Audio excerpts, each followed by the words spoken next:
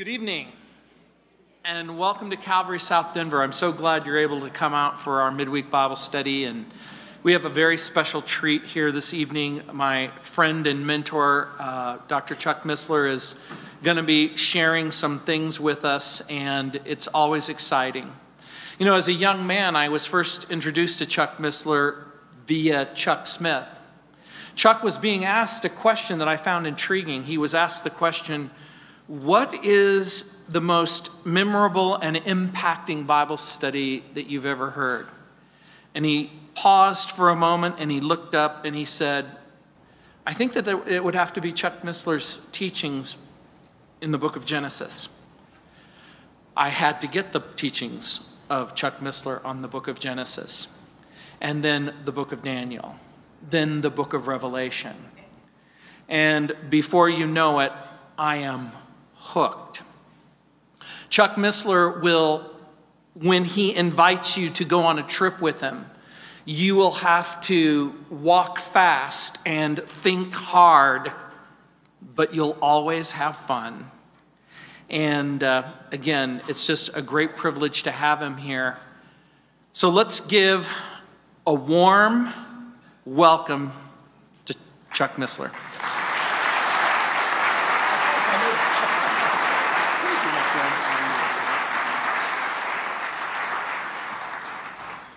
Well, good evening.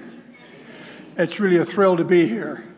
As you can tell, Gino and I go way, way back, so neither one of us are very objective about those subjects.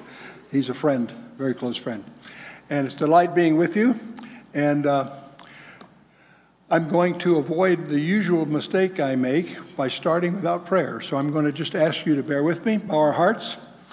Father, we thank you for this privilege. We know there are no accidents in your kingdom, that we're all here right now by your divine appointment. So we pray, Father, that your purpose would be accomplished in each life in this room, that we might be more responsive to your will in our lives as we commit ourselves not only this hour, but ourselves, into your hands. In the name of Yeshua, our precious Lord indeed. Amen.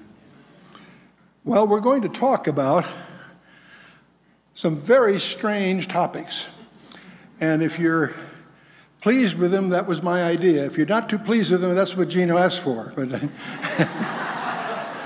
so we're going to talk about some topics that are emerging to be very relevant. Some of these you may not, have heard of, but you will, because we're moving into some very strange times. And just in terms of awareness and its biblical relevance, we wanted to really pose into these things. And are we going? Are, yeah, we're doing here? Good, okay. Many of you know, may know that some years ago that uh, we had uh, published some things in biotech and uh, calling it the Sorcerer's Apprentice. And uh, well, yeah, it's not caught up. There's a pillar there. I'm not seeing it. It's all there, it's right? All yeah. Okay. Yeah. Sorry. I'm getting it. Yeah. Gotcha. We're all set. Okay. Good. Uh, many of you uh, know about, may, may, remember the Sorcerer's Apprentice. You know, uh, that was written by Paul Dukas back in 19, 1897, uh, and it was featured in Walt Disney's famous movie Fantasia and it was based on a, on a, on a legend or a, a, a Goethe's actual story about a, a, sorcerer's apprentice who, in the legend, uh, was tampering with the engines of creation.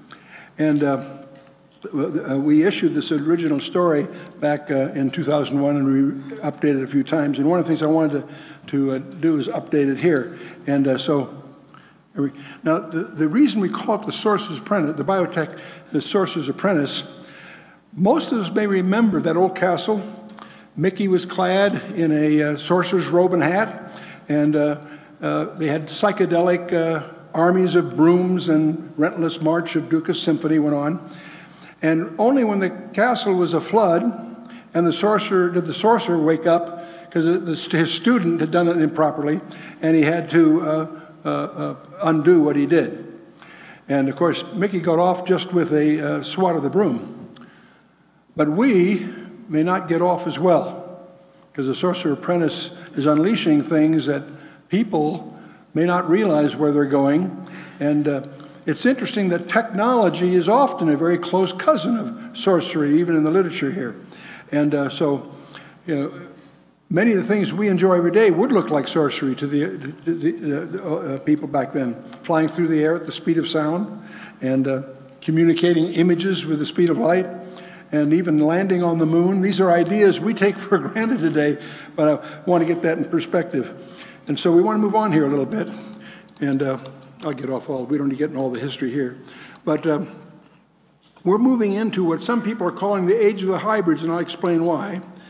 We're going to talk about one aspect of that, and that's the move towards transhumanism. What do we mean by that? And we're going to discover there are four technologies that are accelerating so fast, it's amazing, and they're converging upon each other to create some changes that really are changing by the week, not by the year. And uh, we're going to talk a little bit about the challenges they present, but we'll also highlight some of the dangers that should not be overlooked. But we're going to touch on, talk on another topic. It's a close cousin of that one. We're going to talk a little bit, not too much, relax, but we're going to talk a little bit about alien invasions. And uh, there are two kinds of people here in the world those that think they're just a myth, and uh, those who have done a little bit more homework and may surprise you. So uh, we'll, we'll go into that a little bit. We'll talk a little bit about the Nephilim. Everybody wants me to talk about Genesis 6, and it's astonishing to me, you know, that how many people have come to the Lord through those peculiar, weird things we put out there years ago. Not only at Genesis 6, but also after that. And we'll try to explore a little bit what did Jesus mean when he said the day, uh, spoke of the days of Noah. As the days of Noah were, so shall the coming of the Son of Man be. What did he mean by that? And so we're going to surprise many here with the ex- talk a little bit about the expectations of the Vatican. The Roman Catholic Church has a substantial investment in technology staff and facilities and are openly admitting they are preparing to receive an alien visitor. What on earth is all that about? We'll touch on that. But after going through some of this background, it'll, it'll be light and fast, so I hope I won't uh, bore you too much on some of that. But what are the, the uh, you know, we always need to answer the, the so what question. So, what's that got to do with me? And we'll try to deal with what do these challenges mean to you personally. And so that's where we're headed. A little bit about transhumanism. I, there are four technologies you need to be aware of. And one of them, of course, is genetics and microbiology. I assume in this audience, I don't have to elaborate on that. You're familiar with the incredible discoveries that are continuing to be made every day in that whole field. But there's another technology, you may not follow too closely, but it's worth following very closely, and that's another field of study called robotics. And we're also going to talk a little bit about nanotechnologies and what are these things. And finally, of course, the area of artificial intelligence.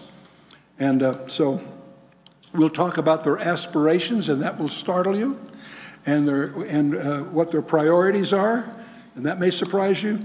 And we'll talk about its dangers. So that's the core of what we're going to talk about. We'll go on to some other things too.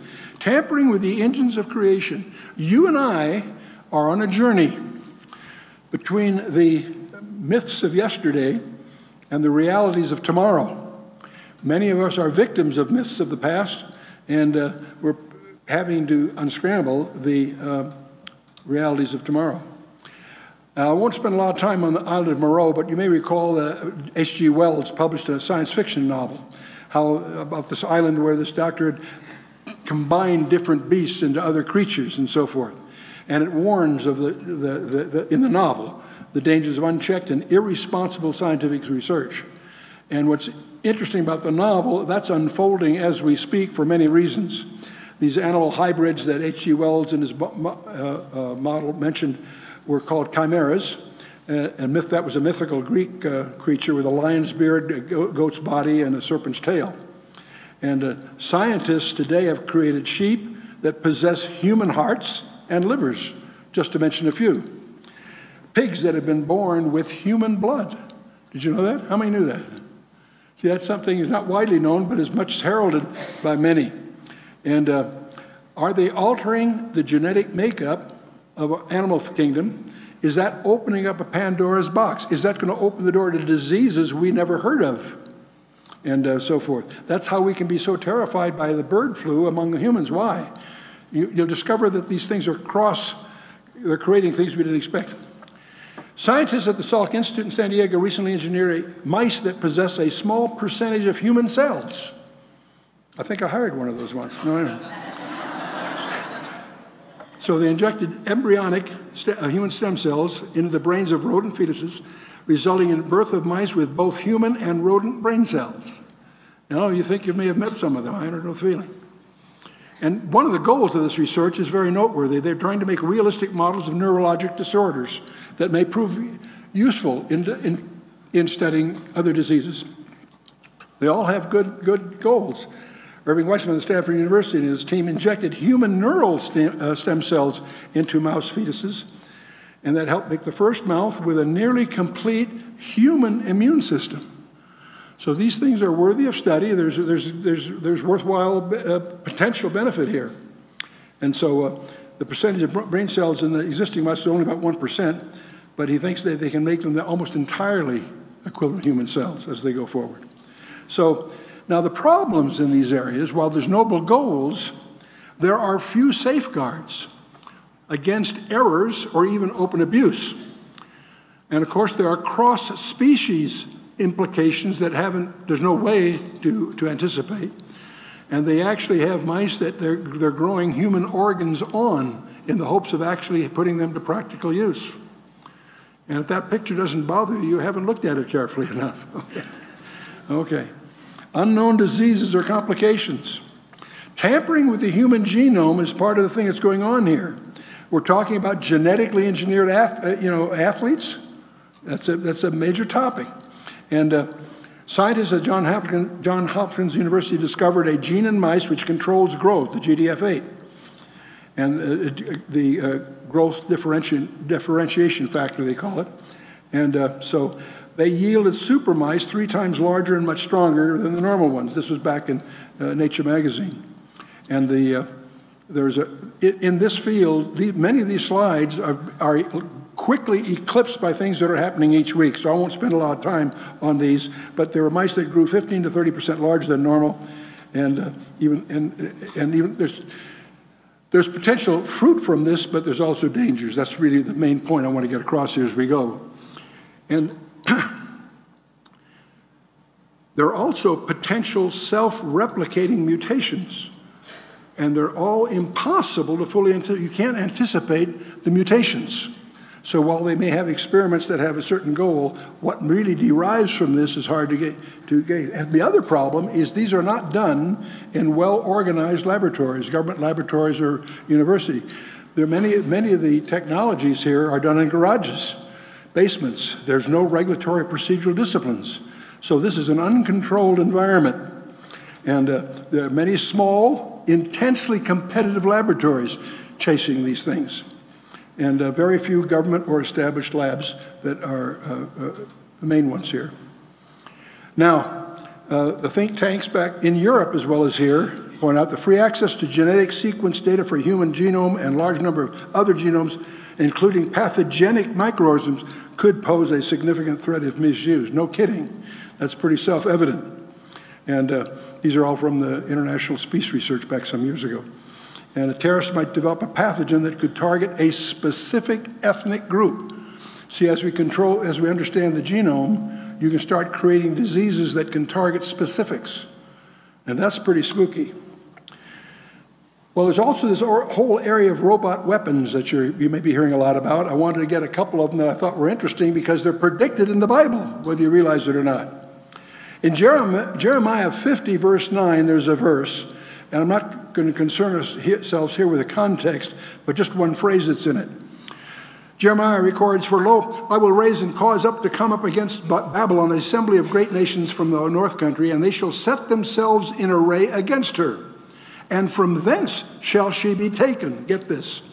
Their arrows shall be as of a mighty expert man, and none shall return in vain. Now, in the English, you don't pick it up, but in the Hebrew, it's very emphatic.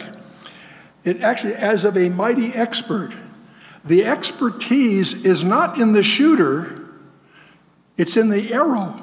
You pick up on that? The verb is sakal in the Hebrew.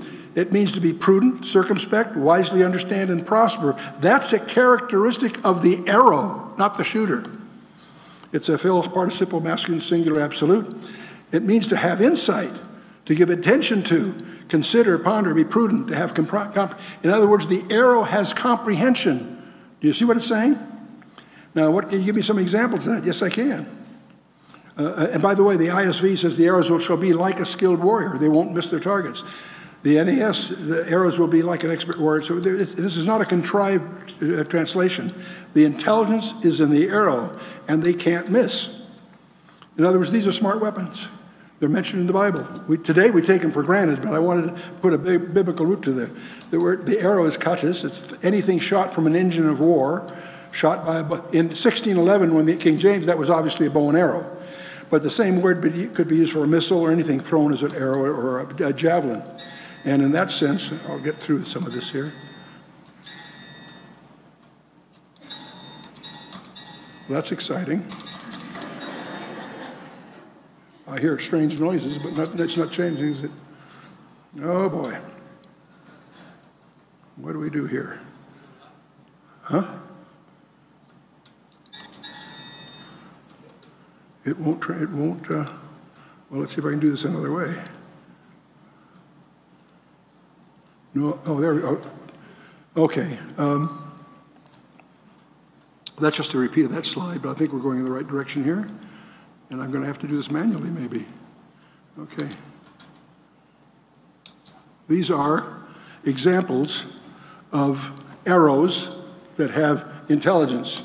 And these are there's another thing, there's a rifle, by the way, that you may want to know about. Uh, the XM25, I don't know if that's familiar. It's kind of an interesting device. It's coming to a war near you. Um, it has a system of range about 2,300 feet, and I believe they're using it in Afghanistan. But the, the gun, it has a gun sight that uses a laser um, that measures the distance, and it also sets a time on the bullet to explode so you can shoot over the guys. If he's behind a barrier, you can shoot over the barrier and nail him. And uh, so it's a, it's a bullet that has the effect of going around corners. It's a game changer. And uh, they'll be able to use this to target snipers hidden in trenches rather than calling airstrikes. And uh, so it has a 20, whoops, well, we don't have to dwell time on this. I'm having trouble with the other thing. So the, the, the, it's, it's a game changer, basically.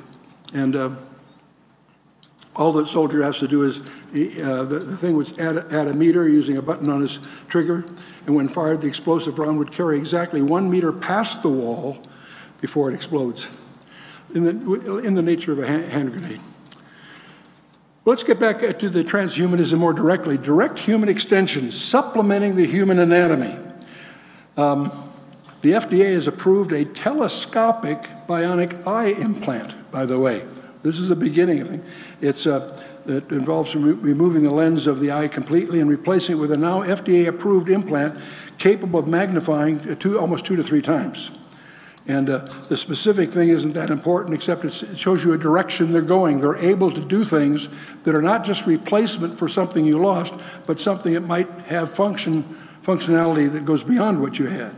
We're going to look at a few of those if I can get this thing to this is very strange. Okay, well, I'll go at it manually here if I can. Okay. In, in robotics, they don't use gears and hydraulics anymore. They actually use muscles. They have a, muscle, a bionic muscle is 100 times stronger than yours, and they're made out of elastic metal called the shape of memory wire, and they're chemically powered with alcohol. Don't jump to conclusions, but we'll go.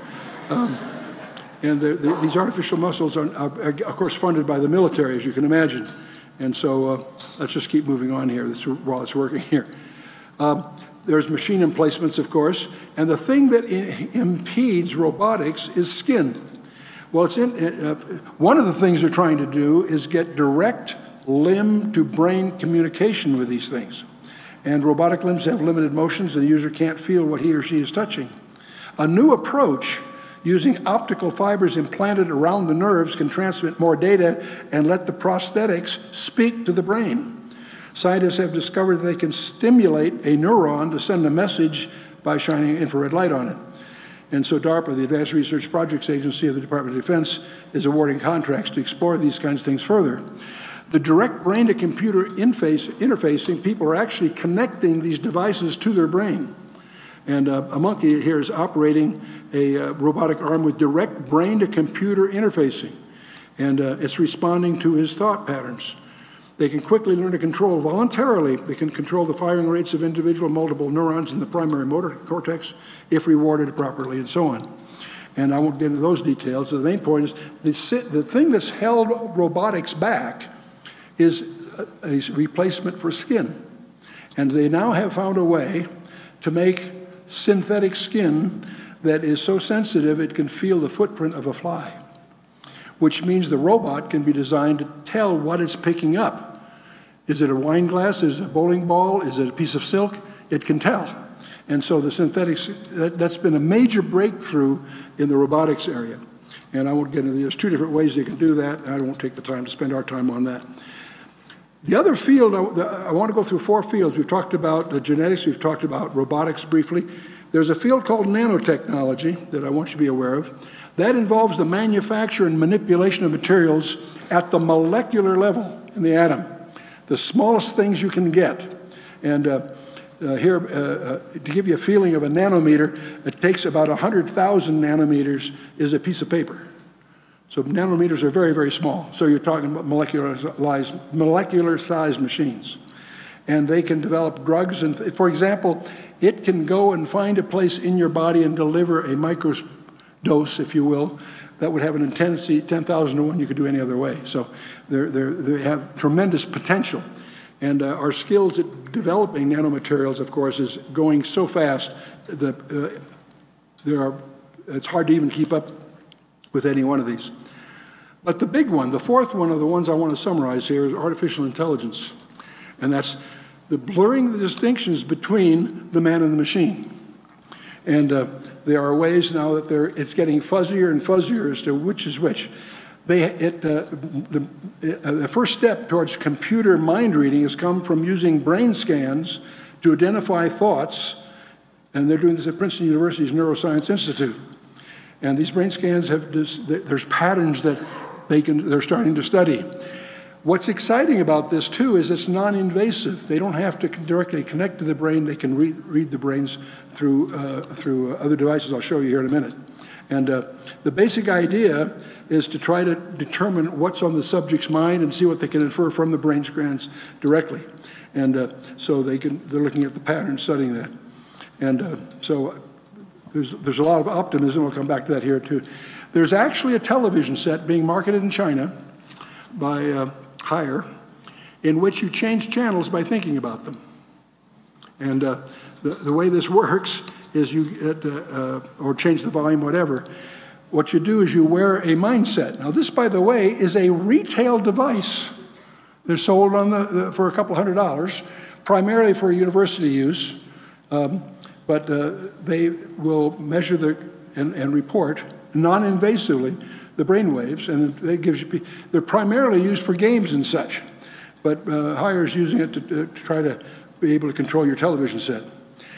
I think most of you realize the toughest thing to control on the television is the off, sweat, off switch, but we'll move on here. But the, uh, this mind reader headset is a, what startled me is it's a retail device. And uh, if you're interested, you can, you can track it down on the internet for a couple hundred dollars. You can buy one and figure out something to do with it then. But uh, the Army's, though, has a mind control project where they're trying to develop thought helmets that would harness silent brain waves for secure communication among troops. And that's not, they actually, those are contracts that are being led. They hope it'll lead to direct mental control of military systems by thought alone. And, uh, and they're, they're, they're a long way from getting there, but they're letting research contracts in that direction. And so a five-year contract's been awarded to a coalition of scientists, both at the University of California, Irvine, Carnegie Mellon, and University of Maryland, to try to decode the activity in those brain, uh, and so the soldier could radio commands to one or more uh, comrades by thinking of the message he wants them to get. But perhaps the most dangerous of all these things are the brain to computer interfaces, or BCIs they call them. And uh, they, are actually implanted inside the skull but rest outside the brain rather than within the brain matter. And uh, this, what most people that are in this field are, this thing is acting strange here. Let me get, kill that. Is that on there too? Yeah. Um, when these professors connect themselves to computers or other devices, they are typically PhD, and, and, and PhDs are very, very um, trained in a spe specificity, a specific area. But there's something that goes along with a PhD, and that's pride.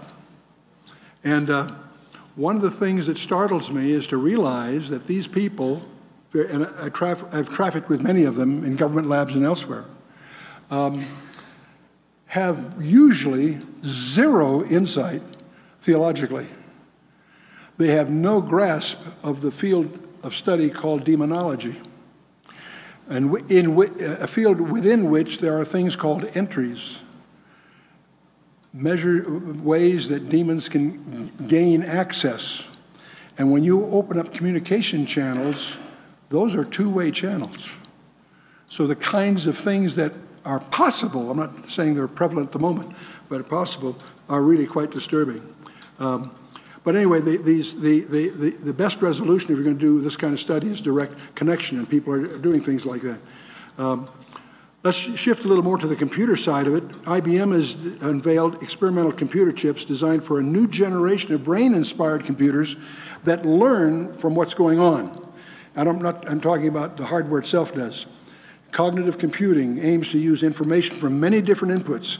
So it's, it's multiple input, and it's self-programming, if you will. And uh, these uh, chips would allow a sensor-studded gl glove to monitor sights, smells, textures, temperature of grocery products, whatever. There's all kinds of commercial potential here.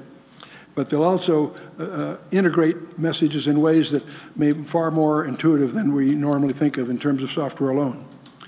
And I won't get into the, the specifications because any specification I put in a slide is out of date a week later. So we'll just keep moving here. Um, but there is, there is a, uh, there is a um, um, comment here that deserves, uh, needs to be made. There is a point, Ray Kurzweil, one of the gurus in this world, um, looks for a crossover. He gives it an unfortunate name. He borrows a term from mathematics called a singularity. He calls it the singularity. It's an unfortunate term because it's misleading, but what he means by that is there's a point at which the com computers will exceed the capacity of the human brain. And that's only a, a, few years away, not a few decades, a few years away. It's that close. And when that happens, that's a major, major milestone in the field of artificial intelligence, obviously. And uh, we'll talk more about that. But the computers that learn, um, they're already taking these into applications of pattern recognition, navigation, other areas. And I, won't, I don't want to get in the details of this one. There are new, there's a new a partnership between IBM and 3M where they're looking towards a new breed of microprocessors where they stack 100 layers of chips atop one another to, to make it thinner. You make things thinner for lots of reasons. Speed is part of it. When you're operating at those speeds, uh, even a, few inches can be in, uh, too big an encumbrance. And so they're trying to, 3M uh, is trying to create an adhesive that will allow this to happen. It's also, there's a heat dissipation issue and the rest of it. But these, this is also expecting to give you a thousand to one advantage, and this thing still isn't. Okay, we'll just do it manually here. Okay. So I want to get into the, art the, the, the artificial intelligence area. The power of computers obviously are continuing to accelerate.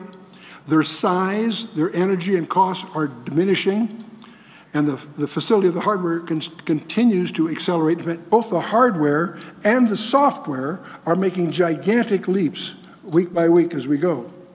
And the singularity I tried to explain, that's a term that is associated with Ray Kurzweil. But uh, that's when the, when the computational intelligence exceeds that of the human mind. That's the target. Now you say, well, what's wrong with that? You have to understand what their admitted ultimate goal is. Because if you can take your intelligence and transfer it into that environment, you've achieved immortality. It's a path to immortality and to exchange consciousness between bodies. uh, synthetic or otherwise. And the fact that this could, could at least conceivably lead to a path of toward immortality can give you a glimpse of what kind of theology these people share, or lack thereof, if you will. Ray Kurzweil's concept of this, these, this consciousness not, can it, not only will be able to be translated into a machine, you can combine consciousness. If you collectivize the consciousness, at the end of a very long, of a documentary on his life, they ask him, do you believe there's a God? And his answer is very simple. He says, not yet. That's really the goal that they think they're on. Now, see, the real problem is the real you. See, I can't see you. I'm standing up on stage. I can see the package you are in.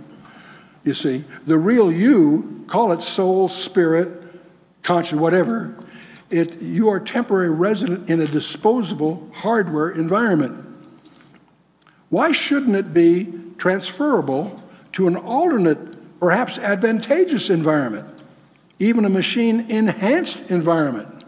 The day will be coming when they can create an environment that may be more hospitable than your own body, at least in their mind. So, that would, what would limit a continuing path to subsequent upgrades? I'm ready for an upgrade. I don't plan to look to them for that upgrade, by the way. Let me hasten to add that. So there's some coming nightmares coming. The real behind the scenes, something I haven't focused on, but I want to before we're through, is talk about super soldiers armed with ultimate weapons. There is an arms race going on. It's very hidden, but very real between all the development countries. China, Russia, and the US, probably places in Europe, are going in this direction in the hopes of being able to field the super soldier. That could be a game changer in the, in the pattern of nations networked super soldiers with unlimited mind controls. Can you imagine? Unenforced lawlessness among a privileged few is part of the scenario here. Consciousness exchanges offering a form of immortality, collective consciousness ushering in a utopian collective, or the ultimate nightmare. That's what's on the horizon. This is not decades away. These are just a matter of years in the, in the minds of the practitioners.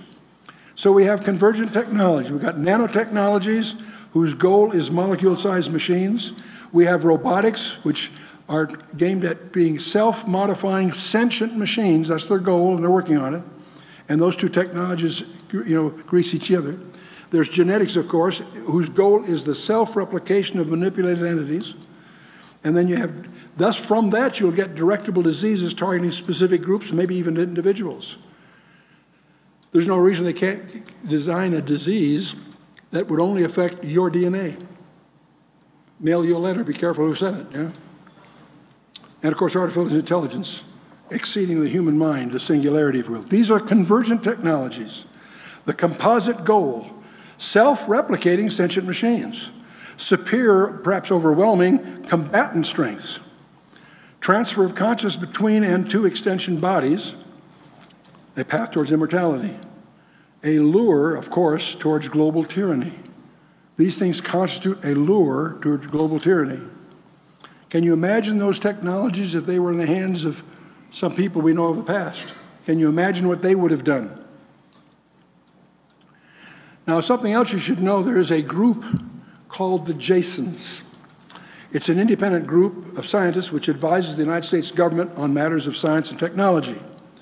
Was, they were created as a way to have a younger generation of scientists to replace the uh, uh, Los Alamos and MIT Radiation Laboratory alumni. And uh, uh, for administrative purposes, they're, they're, administered through the MITRE Corporation. But the point is, uh, they, the, the, they, their, their, sponsors include the Department of Defense, of course, and uh, Navy and, and uh, Department of Energy and the U.S. intelligence community. Most of the Jason reports are classified. They all have security clearances. They include physicists, biologists, chemists, all kinds of fields, by the way. And they're selected because of their scientific brilliance. And over the years, they've included 11 Nobel Prize laureates and several dozen members of the United States uh, National Academy of Sciences.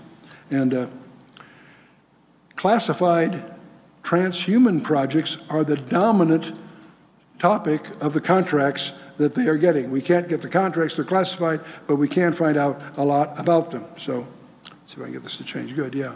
And I won't go through the list. You can skim through quickly on here the, the flavor of the kinds of contracts that are being that are accelerating our progress in what they collectively call transhumanism. And uh, now we have a highly classified priority agenda that drives wide, a widespread global arms race that will eclipse all others. And so this is, this is leading what we call the age, what's leading to is the age of hybrids. And there's another kind of hybrid I want to talk about before we're through, but uh, we've talked about the Rasmussen and the dangers. Okay. What are the dangers here? I've highlighted them so far. Uh, let, uh, let's back up here a second here. One of the dangers of all of this is it ignores what I call the metacosm. And for this and almost everything else that we publish in our materials, you may want to understand what that term means. There are boundaries to the reality, to our physical reality. Those are well known today, by the way. I don't want to touch on that. I'm going to use the symbol of uh, Da Vinci's Vitruvian Man as a representation of the reach of man. Okay, that just rep that represents you and me. And if I and I'm going to let on the diagram up there, let size increase to the right. Bigness is the right, smallness to the left. Okay. Now, as we look towards things that are larger than ourselves, we'll call that collectively the macrocosm. And that plunges you into the study of astronomy and astrophysics and topics like that. The great, much we, could, we have whole presentations on each of these topics, but the main thing here is 20th century science. The great discovery of 20th century science is that the universe is finite. It's not infinite. It may be expanding, but it's finite. And that's both thermographically and other reasons uh, uh, demonstrable. So the macrocosm, there's a limit to the size of the universe. And because there is, that's what gives rise to these speculations called the Big Bang and whatever. We know it had a beginning, and we know that it'll ultimately have an end. But let's move on from that. Let's go the other way. Let's look at smallness. And now we'll call that the microcosm. When you get into this world, it gets weirder than any of the others. It leads with quantum physics and subatomic particles. And whether you're talking about length, mass, energy, or time, you discover that everything in small has a limit to how small it can be. See, you and I would think that if I took a piece of string, I'd cut it in half, no problem. I'd take the half, I, I could cut it in half. And you would think that conceptually, at least, I could do that for, it might get too small to literally do, but your thinking is, whatever I've got left, I can cut in half. That turns out to be true.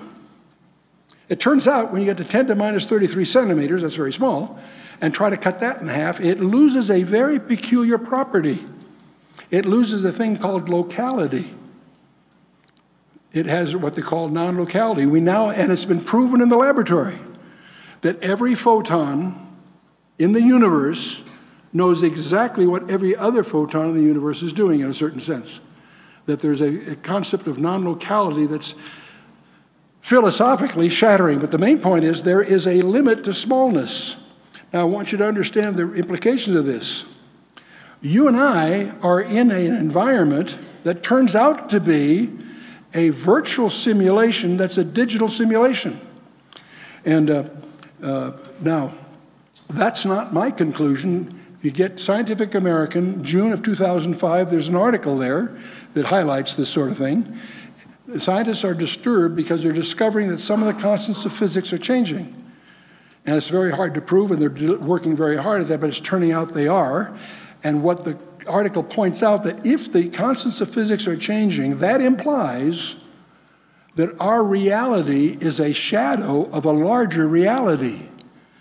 That's their words, not mine. And when I saw that, I just jumped for joy because that's exactly what the Bible has been saying all along. Is that uh, we? Uh, uh, well, let's see. I think I go, go a little further. Whoops. No, I think I've spared you a diversion here. There is, uh, the, the, ancient Hebrew sages, Nachmanides, from his, from, the, uh, from his uh, study of the book of Genesis, concluded that the universe has 10 dimensions, only four are knowable, six are not knowable. That's in his writings in the 13th century. We've spent hundreds of millions of dollars creating atomic accelerators, which have now revealed to us that the universe has apparently 10 dimensions. Four are directly discernible, Six we know are there but can't get at. They're curled less than 10 to the minus 35 centimeters. So we've spent all that money what, discovering what Nachmanides learned by just studying the Hebrew text of the book of Genesis. I'm not being facetious, I'm being quite serious. And uh, so we live in a, in a simulation that's limited to four direct dimensions we can experience. And by the way, not only is what the Bible says, it lists them in Ephesians chapter 3, verse 18, are four dimensions that we have. So it's no surprise to Paul, if you will. But we now also have knowledge that there's six other dimensions that we can't get at directly. Now, we can glibly call that the spiritual world or something. And we're going to, uh, more, more consistent thing is to, this physical reality we're in is embedded in something larger, which we'll call the metacosm. And uh, that's the domain when you start studying angels. We have a whole background around that one. And that's what we think, what we suspect, don't know, we suspect, is the domain of the UFOs. Because we now know they're transdimensional. Not tra- they're not intergalactical, they're transdimensional. And I'll get to that in a little bit here, I think. Our universe is but a shadow of a larger reality. Scientific American, June of 2005. But let's uh, finish up the transhumanism. That see the problem with transhumanism, it ignores the metacosm. People traffic and and the the that's a, a supernatural that's there's supernatural warfare where you and I are both the puppets and the prizes. That's what's going on. The transhumanists are totally oblivious to that. They have no grasp of that. When you open up a communication channel in our software, we might call it soul, spirit, whatever, it yields access permission that is not reversible. those of you that saw The Exorcist, that, that, that was, William Blatty's novel was based on case study. And what started that whole nightmare was a gal playing, it wasn't a, guy, it was a guy, not a gal, but that's the point. Um, the, the, it was based on case studies. Um, fooling around with the Ouija board, which is an entry. And uh, some of these video games and so forth are potentially uh, uh, entries. Let's take a look at the scripture here a little bit. We're all familiar with Nebuchadnezzar's uh, dream of Daniel 2 and also Daniel 7, the different set of idioms, but same subject really. And we all know about the four empires gold, the, the gold, silver, brass, and iron, and the Babylon, Persia, Greece, Rome. We, we've all been there. But when you get to verse 43 of Daniel 2, where Daniel is explaining all this to Nebuchadnezzar, he, he gets to this peculiar stuff called the iron mixed with clay. Everybody remembers the iron, legs are iron and the feet were iron mixed with clay. Verse 43 says, Whereas thou sawest, speaking to, this is Daniel explaining to Nebuchadnezzar, and whereas thou sawest iron mixed with miry clay, they, he switches to a personal pronoun, they shall mingle themselves with the seed of men. But they shall not cleave one to another, even as iron is not mixed with clay. What's he talking about? No one's know. Nobody knows. I tell you, we, can t- we do know. That means that them, they, whoever they are, have to be something other than the seed of men, or they can't mingle. In other words, the grammar requires them to be two separate, non mixable groups. So, what are they? We don't know. And uh, the, they, the personal pronoun is relevant here. And I want you to notice then that the seed of men. They're not the seed of men, they're not mankind. Are they hybrids? Possible. Are they somehow not? See, they're not the seed of men, they're seed of something else. Are they Nephilim? Could be. Or maybe something even more sinister. Are they aliens of, of some other kind? That's what's so provocative that the two guys who wrote a book a year ago and, and published in April of 2012 that predicted the abdication of the Pope which hadn't, hadn't, hadn't happened for 600 years. And then in 11 months later, in February of 2013, the Pope advocates those two guys, Tom Horn and Cris Putnam, made the front pages. Well, they've just published another book in April 2013, which, which reveals the fact the Vatican is uh, committing substantial resources as they prepare to receive what they believe will be an alien visitor of some kind. What on earth is going on? We need to remember that in the scripture, it's not, the Antichrist isn't a guy, it's a duet. There's two people there involved the false prophet and the other one. Um, I beheld another beast coming up out of the earth who had two horns like a lamb, and he spake as a dragon. And see, the second beast is from the earth, and so forth. Um, Some people think he's a Jew because, the, because of the, the, uh, the, the, uh, the Greek trans, uh, allusion of this in John 5.43 is allos, not heteros, and that implies he's Jewish. That's, that's not conclusive in my mind, but that's when some of the beliefs come about. And he but he apparently is received by Israel, among other things, from Psalm 55 and others. But he exercised all the power of the first beast before him. He caused the earth, and he's the one that caused the earth and them that dwell therein to worship the first beast whose deadly wound was healed. And, uh, and he doeth great wonders, so that he maketh fire come down from heaven on the earth in the sight of men, really. And he deceiveth them that dwell on the earth by the means of those miracles which he had the power to do in the sight of the beast, saying to them that dwell on the earth, that they should make an image to the beast and which had the wound by the sword and to live. You see, the identities are consistent through there. And he had the power to give life unto the image of the beast, really. That the image of the beast should both speak and cause that as many as would not worship the beast should be killed. Interesting stuff. He gave life to the image of the beast and so on. Okay. And he caused both small and great, rich and poor, free and bond, to receive the mark in their right hand or on their foreheads, that no man might buy or sell, save that he had a mark or the name of the beast or the number of his name. And, uh, and there's been a lot of discussion about this. Uh, this mark, by the way, is prohibited all through the Torah and elsewhere. But uh, whose numbers? Everybody gets confused about this. You, you hear articles about insertable chips and nanopower when I was on their board, all that kind of talk, RFID chips, barcodes uh, for implementation. They miss the point. It's not our number that's the issue, it's his number that's at issue.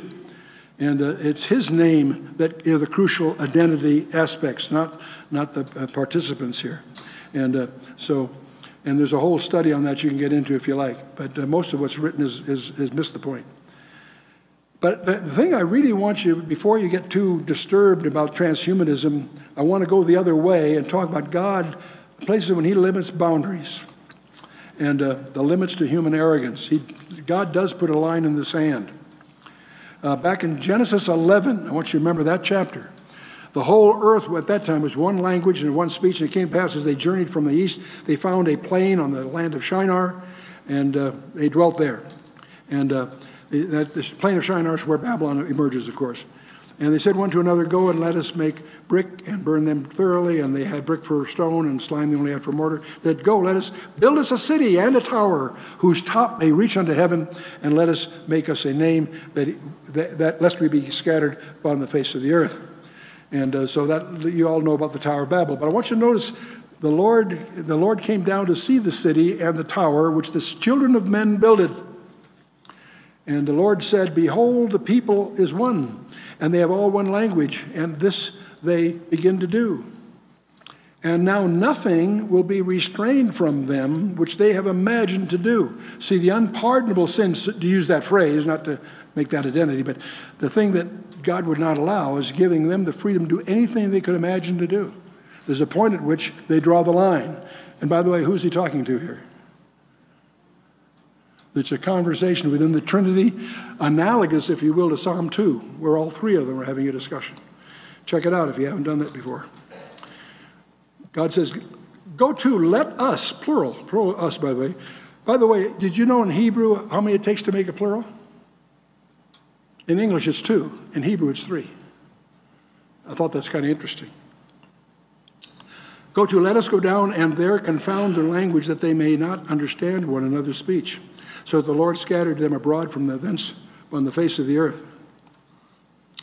And they left off to build a city. So let us go down. I think that's fun. And that's the bidding of Babel and all that. Okay, um, let's shift here. We've talked a little bit about this. Um, oh boy. Well, let me skip right to it here. I think I've touched on these enough. The ultimate enigma that you unveil, the interval between the miracle of our origin and the mystery of our destiny. That's our challenge continually. But I, I made an allusion earlier that I want to double back on here. I, want, I said I couldn't see you, that you're in, temporary, you're in temporary hardware. There's an analogy I want to draw between computers and ourselves. We all know that computer has hardware, microcircuits, memory, wires, whatever. And uh, there's also software. Uh, there's a user interface, there's internal interfaces, there's machine language, what have you. If you knew everything there is to know about every wire, every resistor, every piece of hardware that's in my computer, could you tell me anything about its behavior? And the answer is no, not really, because it's simply a residence for software, right? And I want to draw that analogy. You see, um, the software are, are, other things, but that's fine. I, I always like to use this slide. Um, the slide represents the hardware of man. It's very simple as a switch that's, that's on and off, right? Whoops, did I, did it, oh, it switched for me, huh? Okay. Uh, did I, did I get it right? You got the complicated, I didn't see it here. It went too fast for me here. Okay, good. We'll leave that alone. Okay. But to be serious a little bit, there is a parallel between the hardware in our physical body and software and our actual self. The real you, whether, set the vocabulary aside, whether it's soul, spirit, mind, your thoughts, whatever, that collectively is software, not hardware. And uh, the, the thing I want to get across is software is not material. Software is information. It has no mass in and of itself. A light switch weighs the same whether the switch is on or off. The one or zero is, it, it has no, and can I see if I get going here? Now, the, if I take a, a uh, memory device, I'm using a diskette here, that's blank, okay, and I put that on a postal scale, it has nothing on it, it will weigh about seven tenths of an ounce. I can spend hundreds of dollars and load it with millions of bytes of software, and what will it weigh? Okay, well, if I add that all up, it still will weigh seven tenths of an ounce. In other words, there's no change. The software has no mass. Are you with me? Okay, I can even take software and send it through the airwaves, can I? Right? See, the implication of that is time is a property of mass, with mass. If it has no mass, it has no time dimension to it. Okay? Now, that's the physics of software. It has no mass. See, the weight of a storage device is not impacted by the presence of the software. It can even be sent through the airwaves. It's all software is not constrained by time. Time is a physical property that varies with mass acceleration and gravity, among other things. See, your destiny is eternal, whether you are saved or not. The real you is software, not hardware. I can't see you. I can only see the package you happen to be in at the moment. Software has no mass. Now, my package has a little too much mass, but it has nothing to do with my software. Okay. Now, you are temporarily resident in a package, in a disposable hardware environment. The real you has no mass. Your temporary container may have too much mass, but uh, the real you requires no time dimension. You are eternal whether you are saved or not. That'll disturb a lot of theologians here. The issue is not your eternity, the issue is where are you going to spend it? And Walter Martin used to point out there's two paths to God to heaven. One path is that you never make a mistake from the time you're born on. You never sin. You never, you never fumble. You, you never, you absolutely you have no sin at all. You go through your whole life without sin. And then when you get to the pearly gates, you tell God, move over. There's now there's two of us. And of course, he was being facetious, as was his style, just to get a point across. No, we're not perfect. But the good news is God himself, knowing that, entered his creation and paid our price for us. You know all that here. So if you're, if you're perfect, there's no problem. But it's time for all of us, I'm going to suggest, is to change to renew our citizenship. And uh, one of the most difficult things people ask me, you know, what, you know, what's happening to America? Boy, I don't know. There's a whole other topic we could explore, and that is the encroaching darkness and the fact that all the things that made our country great up through the 40s, 50s, 60s maybe is gone. We do not have a constitutional government. We do not have freedom of speech. We do not have a Bill of Rights. And that's all been, what's amazing isn't that it's happened. What's amazing is that nobody cares. Nobody notices. The apathy. partly because the entire middle class has gone on the take too. They've also got the cancer of entitlement mentalities. So there's a lot going on. So we could talk a lot about the coming scenario, the, the Psalm 80. I'm, I'm, dropping a few thoughts here, so we'll get some questions. But Psalm 83, I think, is a prelude to Ezekiel 38. An anticipated world leader will, will be exploiting a global crisis. And uh, there will be roles, I believe, this is just personal suspicion, involving what apparently are alien encounters and creatures beyond our imagining. And that will climax in an actual Armageddon, of course. And your challenge, I, put, I always like to close with a challenge on the screen, which if you accept what I put on the screen, you flunk the course. I'm going to put something on the screen in sincerity, but I want you to challenge it because it's ridiculous. I believe that you and I are being plunged into a period of time about which the Bible says more than it does about any other period of time in human history, including the time that Jesus walked the shores of Galilee or climbed the mountains of Judea. That's preposterous. Challenge it. Don't accept it, for heaven's sakes. But how do you challenge that statement? You got to do two things to do that.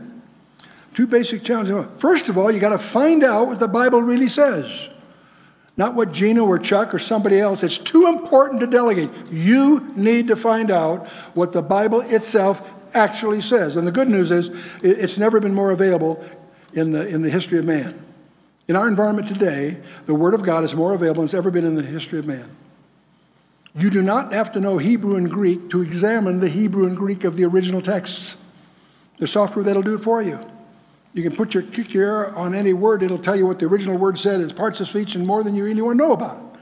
And that software is free of charge, available on the internet and many other ways. We are without excuse.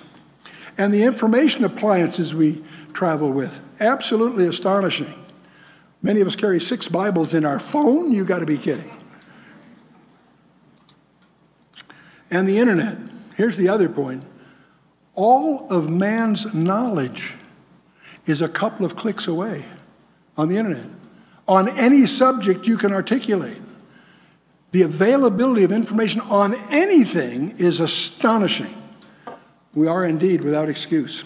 But the second thing you got to do, that's not enough. You got to find out what's really going on. You've got to answer the rhetorical question that Pilate threw into the pot What is truth? You need to find out. Now, you have a real disadvantage there because we live in a culture that has decided there is no truth. Science used to be the quest for truth. There's a difference between science and technology. Technology produces products, it validates itself with products. Science is a priesthood. If you don't know the, you don't have the right creed, you are excluded from the career. Science is a priesthood. It's not connected. It's not a, a, a quest for truth. And furthermore, we now find ourselves in the age of deceit. You can't believe anything the papers say you. I love what Warren Wiersbe says. Uh, anyone that believes an, an airport announcement would believe anything. no, uh, our papers, our news services. The good news is the internet's an end run on those. Not that everything on the internet's true, of course not. But there are reliable sources of information on the internet. You need to uh, search them out and check them out and, and take advantage of that. But the other thing that's happening, and I think that's really the if people that want to start talking about UFOs and the Vatican's accepting a visitor, the experts will generally agree that what we're dealing with here is a very well orchestrated cosmic delusion. There is a specific delusion that's going to be sprung that, if it were possible, it will deceive the very elect, Jesus said. And, Paul, and even Paul talks about it as being given over to the lie, not just a lie, not just, no, no, a specific lie. I don't know what it is, but I suspect that it's somehow going to involve all these things. The world is going to change dramatically. The good news is many of the things that we know are on the agenda happen right after the harpazo. The next event is none of the things we talked about. The next event in the scenario will be the harpazo, which I personally suspect is deliberately indeterminate in order to catch Satan by surprise. I think that was God's strategy from the beginning. And so the good news is, I would like anyone keeping records here to notice for the first time in the history of Chuck Missler, I think I finished on time. okay. So, Pastor, I'll turn it over to you. It's going to be a Q&A or however you want to handle it. Yeah, we, we can. Um, and I apologize for the confusion on the slides, but I. no, no, so- I mean, it is what it is. Yeah. Chuck, we need to get you another computer. That's part of that hyper technology. Yes. You can see why Chuck Missler is the real life inspiration for the most interesting man in the world.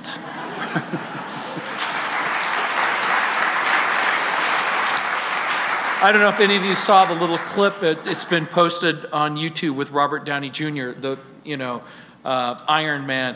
He was on a late night TV show, and they were talking about some esoteric issue. And Robert Downey Jr. looks at the late night television host and goes, "I love Chuck Missler," and I do too. Okay, we have a microphone set up. Um, I know that some of you have to go, some of you have to get children, and that's fine.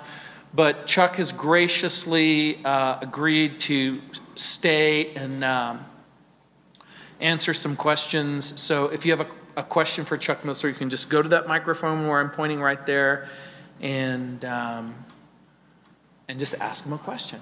So, but again, if, if you need to go get your kids or if you need to leave, that's fine too. But let's just thank him for having come.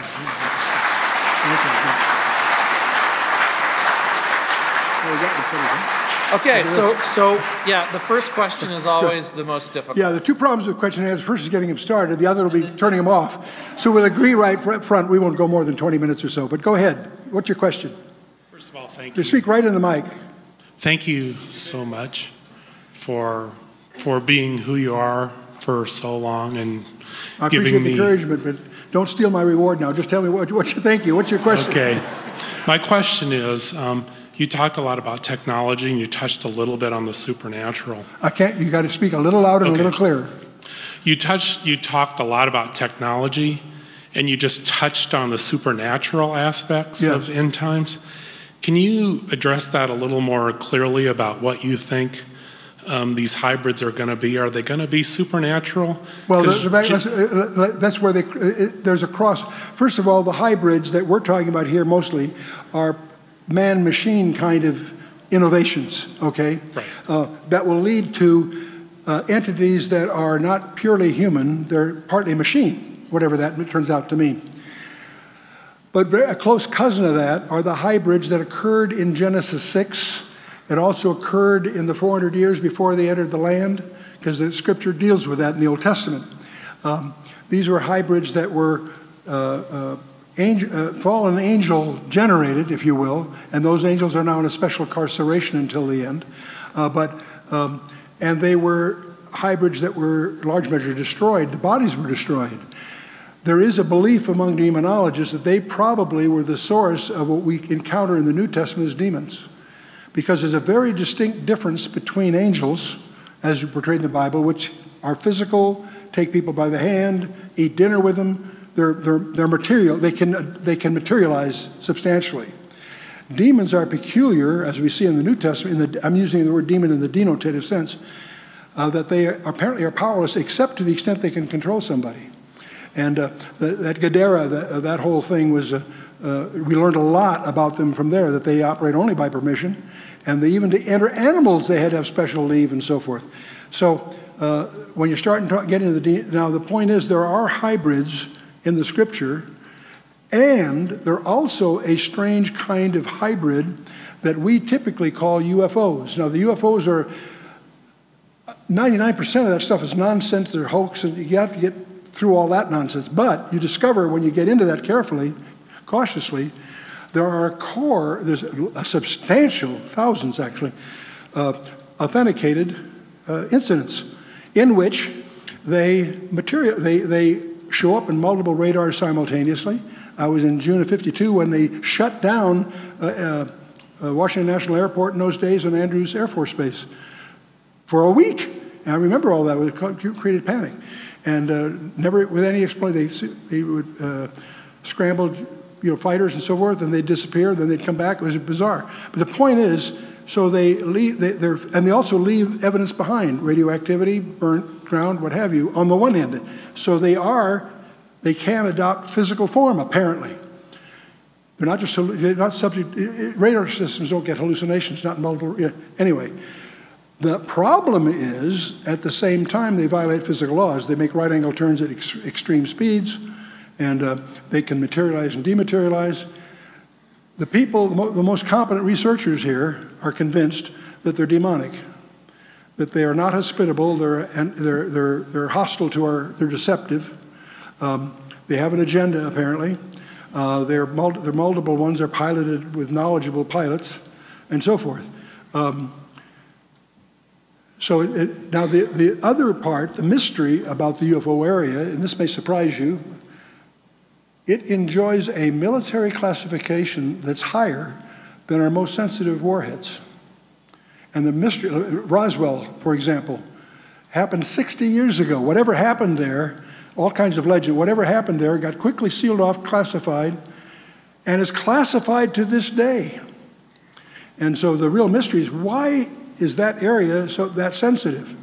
So the more you get into this, there's issues. But the net, net, net of all of that is I think there's a gigantic, satanically driven delusion that's a, going to be unfolded. That all this is a, a, uh, a premise to. And uh, so um, now, so that's going to blur the distinctions you and I might draw between the natural and supernatural. You follow me? That's why I think what we do with most of our students in the Institute is we get into the metacosm very carefully. We, we learn what, we can, what science does know about the macrocosm. And by the way, most of what's taught in college is not true about that. The galaxies are not gravity sensitive at all. You have to remember that you got to divide the, the, the, value by the square of the distance between them. And when you get at those distances, it becomes, it becomes de minimis the galaxies that beyond the solar system, what you see out there is electric, not gravitational. So the point is, there's a whole revolution emerging in astronomy from the plasma physicists, okay? And uh, that leads into the whole holographic universe and some of those discussions. But the point is, first of all, the, the, the problem in promoting the Bible is one of getting over the bad science that's been taught to our kids. Find out what's really true and build from there. So we talk about the macrocosm in solid terms, the microcosm. But the point, the real point of all of that is to really understand that's a subset. That what we call physical reality is a subset of something larger. And it's that something larger that we're bumping into when we start talking about things like angels, things like the uh, uh, uh, UFOs, whatever they are, and so forth. And, uh, and so um, that's where that's really the bridge, so to speak, from technology, I won't use the word science, technology as we know it, and uh, the Bible as it reveals it. And the more you know, but here's the interesting thing the more you know about the frontiers of, of, of technology, the frontiers of science, if you will,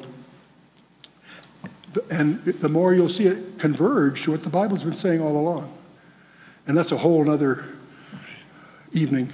Okay. Um, and, and just to kind of close, um, then in the, in the end. I'm sorry, I can't quite hear you. In the end, do you believe the Nephilim will physically appear on the earth? And I'll sit down and shut up. Absolutely. Okay. I mean, absolutely, I believe that. Doesn't mean I'm right. But I do, I, I, I do believe that. Yes, I do. Because Jesus said so. As the days of Noah were, so shall the days of the coming Son of Man be. The days of Noah were characterized by the emergence of the Nephilim. That's why the flood was sent. But that wasn't the only occasion. Genesis chapter 6, verse 4 says, and also after that. And that's what Joshua encountered with four tribes that he was instructed by God to wipe out, wipe out every man, woman, and child of those four tribes. That sounds shocking to a New Testament reader, but you have to understand the problem that he had to, he was solving. And, uh, and it goes on from there, yeah. Okay, you got another one. So my question is, is if you were able to cure a specific disease, say asthma, by um, some sort of embryonic manipulation where you added, say, bullfrog DNA to it, would that be something that um, would basically turn you into a Nephilim? Oh, as far as God's concerned? No, no, no, no, no. I, I, don't think there's any connection there at all. If you had a cure for asthma, whatever, it depends what the cure is, but that has got nothing to do with the supernatural involvement of hostile spirit beings, which is what the Nephilim, that, that, the Nephilim were the offspring, the result of uh, an ungodly union between fallen angels and human women. That's what led to the legends that now we now know as uh, Greek mythology. There's a whole background there, uh, all through, his, and and uh, uh, it's got nothing to do with seeking cures in a legitimate medical context. Good heavens, no. Okay, well, I guess my question is, is if you're actually manipulating what it is to be human, is there a point, would you say that Uh, God uh, basically, Speak, speak a little louder in the mic and a little slowly, more slowly.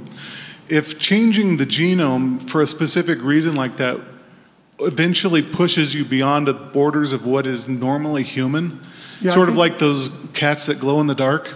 You're tampering, yeah, you're tampering, you're tampering, when you start tampering with the genome, trying to understand it is one thing, but trying to tamper with it, you're tampering with the engines of creation. You're tampering with something that we haven't earned the right, we, we, we run the risk of opening Pandora's box, so to speak. Okay? Uh-huh. Literally.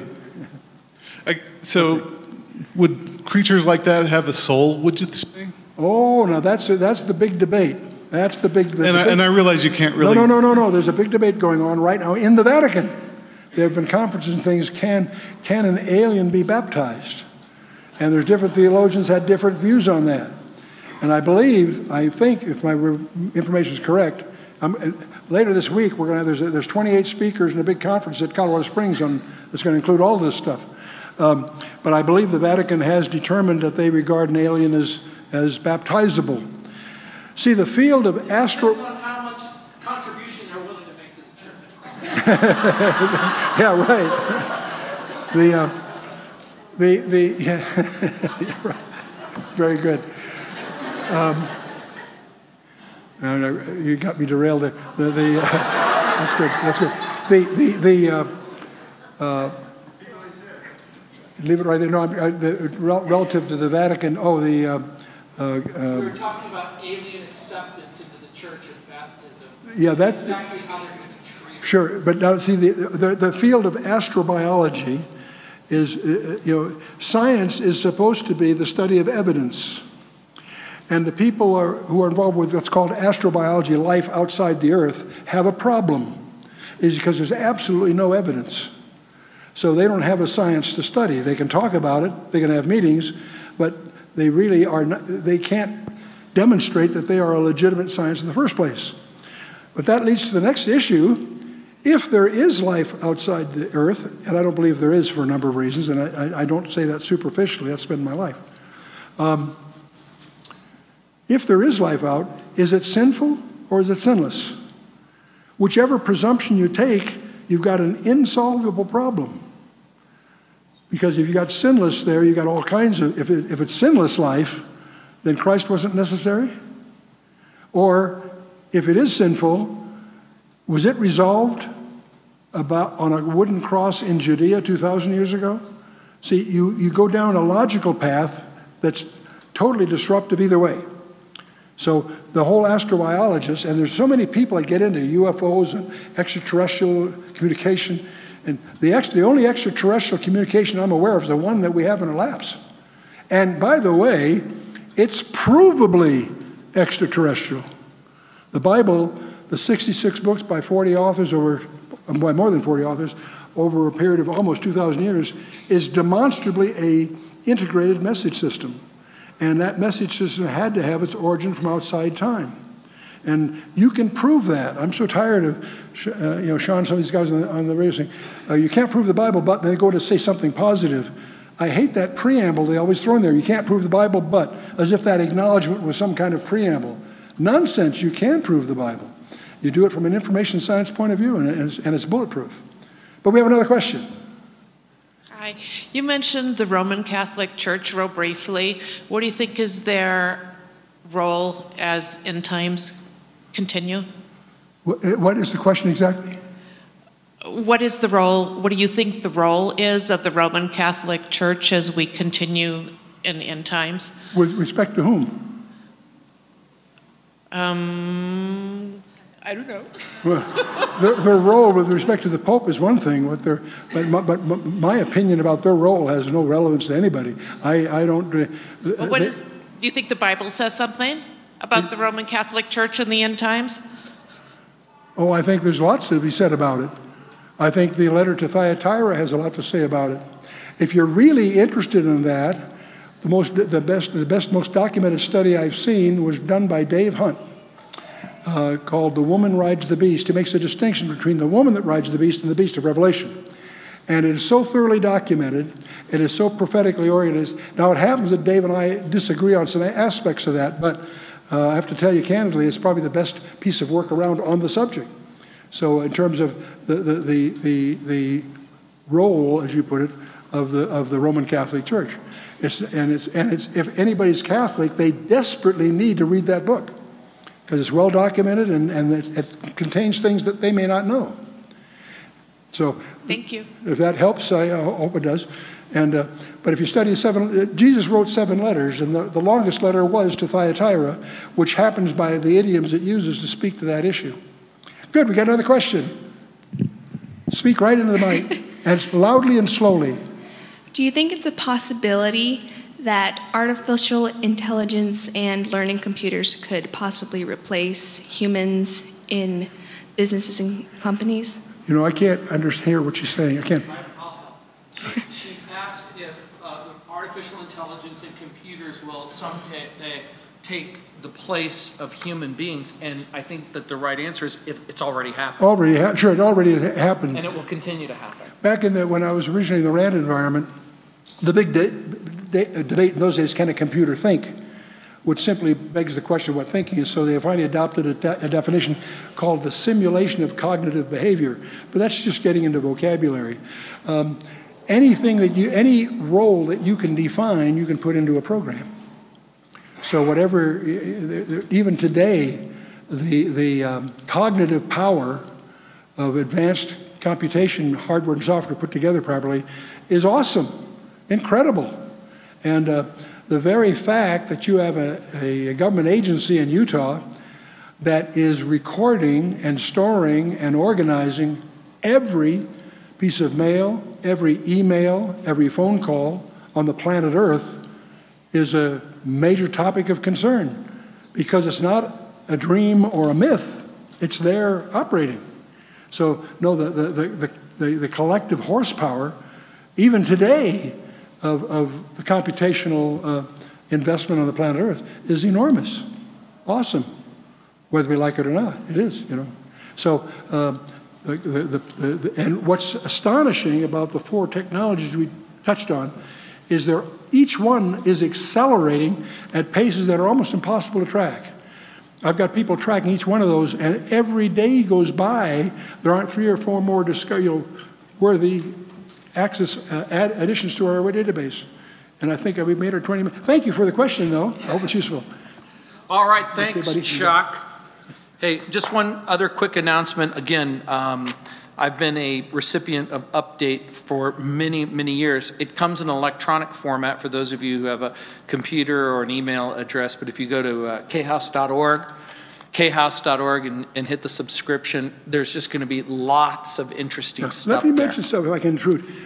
The electronic edition is free of charge. Free. And if there's a word in there you don't understand, you put your finger on it, and it will explain what it is. See, and I wish I had that feature when I was growing up with Chuck because we couldn't put a word over Chuck's conversation and go, oh, finally, I understand what this means. If you look at a picture in there and put your finger on it, it's more likely to be a film clip.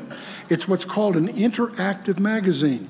And the guy that has developed that and done it and publishes it has for about a year now. We, we, this is not a new thing. We've been doing it for a while. So much so that the printed version is a limited edition thing where people really want to spend. The, they're, they're, it's expensive because it costs a lot of money. This is free. And it's got a circulation, I think, of 130,000, something like that, but it's electronic. The guy that does it is out there at the table.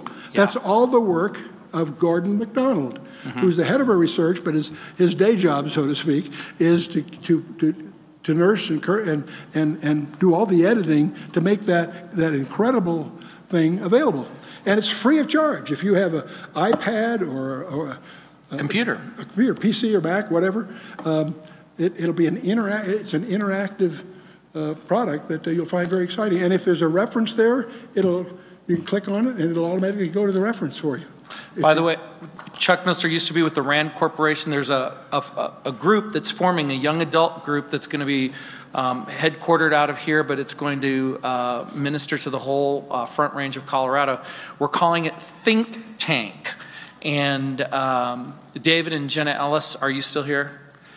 There's David, you can see him. Um, again, if, if this kind of information and things like it, part of the plan is to bring some of the best authors, speakers, thinkers on, on subjects that you're going to want more information about um, in the weeks, months ahead. So, again, there's lots of resources out there. There's so many Chuck Missler resources that I can't even begin to talk about them.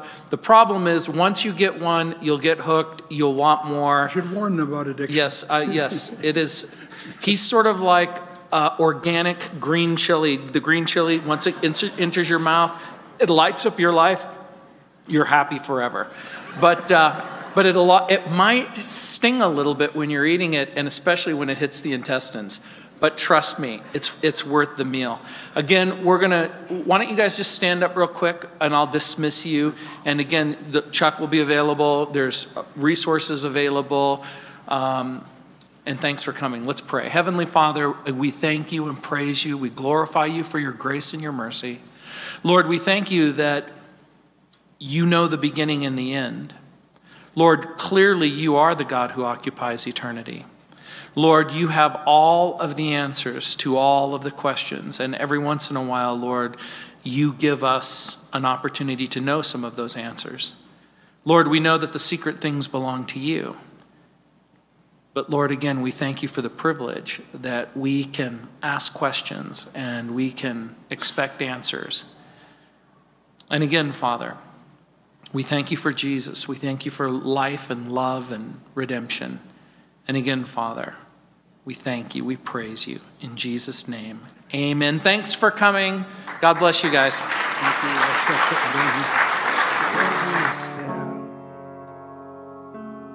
every word.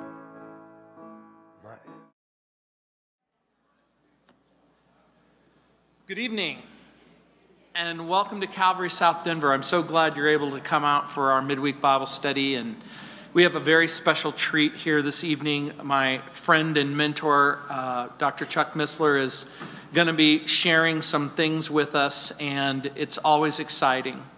You know, as a young man, I was first introduced to Chuck Missler via Chuck Smith. Chuck was being asked a question that I found intriguing. He was asked the question, What is the most memorable and impacting Bible study that you've ever heard? And he paused for a moment and he looked up and he said, I think that it would have to be Chuck Missler's teachings in the book of Genesis.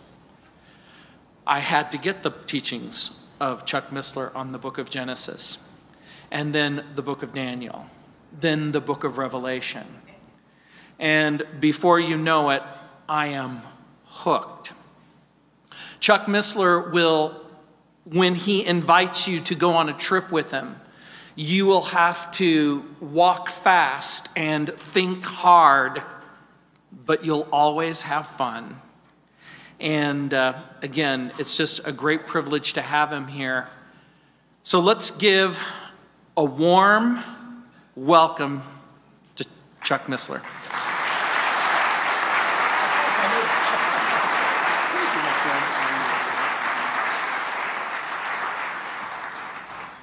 Well, good evening. It's really a thrill to be here. As you can tell, Gino and I go way, way back, so neither one of us are very objective about those subjects. He's a friend, very close friend. And it's a delight being with you. And uh, I'm going to avoid the usual mistake I make by starting without prayer. So I'm going to just ask you to bear with me, bow our hearts. Father, we thank you for this privilege. We know there are no accidents in your kingdom, that we're all here right now by your divine appointment. So we pray, Father, that your purpose would be accomplished in each life in this room, that we might be more responsive to your will in our lives as we commit ourselves, not only this hour, but ourselves, into your hands in the name of Yeshua, our precious where they're going. And uh, it's interesting that technology is often a very close cousin of sorcery, even in the literature here. And uh, so, you know, many of the things we enjoy every day would look like sorcery to the, the, the, the uh, people back then. Flying through the air at the speed of sound and uh, communicating images with the speed of light and even landing on the moon. These are ideas we take for granted today, but I want to get that in perspective. And so we want to move on here a little bit. And uh, I'll get off all, we don't need to get in all the history here. But um, we're moving into what some people are calling the age of the hybrids, and I'll explain why. We're going to talk about one aspect of that, and that's the move towards transhumanism. What do we mean by that? And we're going to discover there are four technologies that are accelerating so fast, it's amazing, and they're converging upon each other to create some changes that really are changing by the week, not by the year. And uh, we're going to talk a little bit about the challenges they present, but we'll also highlight some of the dangers that should not be overlooked. But we're going to touch on, talk on another topic. It's a close cousin of that one. We're going to talk a little bit, not too much, relax, but we're going to talk a little bit about alien invasions. And uh, there are two kinds of people here in the world those that think they're just a myth, and uh, those who have done a little bit more homework and may surprise you. So uh, we'll, we'll go into that a little bit. We'll talk a little bit about the Nephilim. Everybody wants me to talk about Genesis 6, and it's astonishing to me, you know, that how many people have come to the Lord through those peculiar, weird things we put out there years ago. Not only at Genesis 6, but also after that. And we'll try to explore a little bit what did Jesus mean when he said the day, uh, spoke of the days of Noah. As the days of Noah were, so shall the coming of the Son of Man be. What did he mean by that?